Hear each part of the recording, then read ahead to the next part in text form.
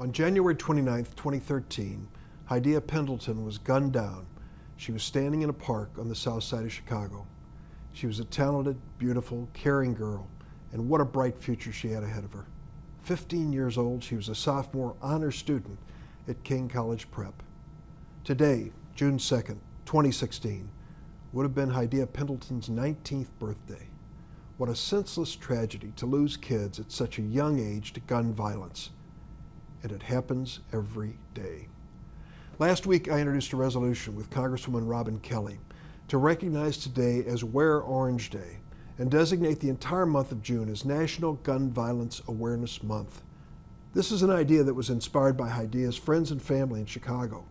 They decided they were going to wear orange on this day, the color that hunters use when they're in the woods to make sure nobody shoots. All across the nation today, people are wearing orange in tribute to the tens of thousands of Americans killed by gun violence each year and in support of the goal of keeping our children safe. I'm proud to wear orange today in support of victims of gun violence and, of course, their families. But they deserve more than just our thoughts and prayers. They deserve action from lawmakers in Washington. I hope my colleagues are paying close attention.